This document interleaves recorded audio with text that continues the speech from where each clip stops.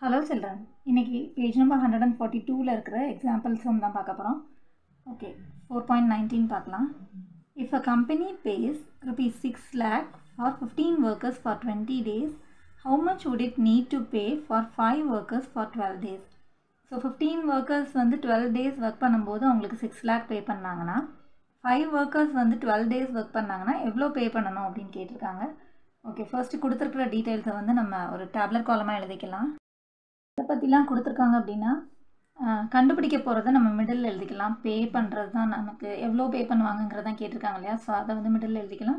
Workers number of workers number of days அந்த மாதிரி எழுதிட்டோன்னா இப்போ வந்து என்ன கொடுத்துருக்காங்கன்னா ஃபிஃப்டீன் ஒர்க்கர்ஸ்க்கு டுவெண்ட்டி டேஸ் ஒர்க் பண்ணும்போது அவங்களுக்கு வந்து சிக்ஸ் லேக் பே பண்ணியிருக்காங்க so in lakh rupees in lakh okay so இப்போ அடுத்து என்ன கொடுத்துருக்காங்க? ஃபைவ் ஒர்க்கர்ஸ்க்கு டுவெல் டேஸ் ஒர்க் பண்ணாங்கன்னா எவ்வளோ பே பண்ணுவாங்க அப்படின்னு கேட்டிருக்காங்க. So let it be x okay இப்போ இதில் வந்து ஃபர்ஸ்ட் வந்து டைரக்ட் வேரியேஷனா டைரக்ட் ப்ரொபோஷனா இன்டைரக்ட் இன்வர்ஸ் ப்ரொபோஷனான்றதை ஃபர்ஸ்ட் செக் பண்ணிக்கணும். இப்போ வந்து எது தெரியாத வேல்யூவோ அதையும் தெரிஞ்ச வேல்யூவையும் எடுத்து செக் பண்ணணும். இப்போ நம்பர் ஆஃப் ஒர்க்கர்ஸ் வந்து குறைஞ்சிருக்கு இல்லையா? ஸோ நம்பர் ஆஃப் ஒர்க்கர்ஸ் குறையும் போது அவங்க வந்து அமௌண்ட் வந்து கம்மியாக தான் பே பண்ணுவாங்க இல்லையா? ஸோ அப்போ இது எப்படின்னா direct proportion so number of workers வந்து குறையும் போது அமௌண்ட் வந்து கண்டிப்பாக குறைய தான் போகுது. ஓகே ஸோ இப்போ இதை எழுதிக்கலாம். So number of workers decrease ஆகிருக்கு குறைஞ்சிருக்குன்றதை பார்க்குறோம் நம்ம. So pay also will decrease கண்டிப்பாக குறைய போகுது. Hence it is direct variation so take reciprocal direct அப்படின்னா நம்ம டேக் ரெசிப்ரோக்கல்னு எழுதிக்கலாம்.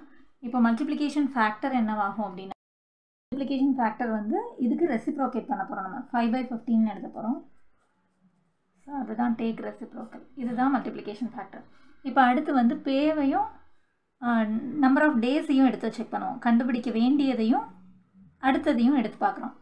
ஸோ நம்பர் ஆஃப் டேஸ் வந்து என்ன இருக்குது குறைஞ்சிருக்கு. ஸோ நம்பர் ஆஃப் டேஸ் குறையும் போது கண்டிப்பாக வந்து பேயும் குறையும் இல்லையா? பேமெண்ட் வந்து குறைய தான் போகுது.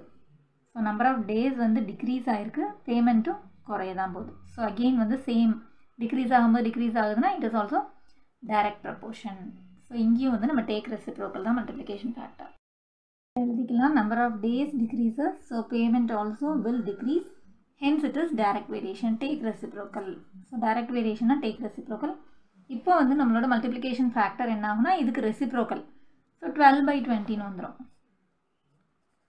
டுவெல் பை டுவெண்ட்டி ஸோ இப்போ நம்மளால் எக்ஸோட வேல்யூ கண்டுபிடிச்சிட முடியும். So x is equal to இந்த சிக்ஸ் எழுதிக்கலாம்.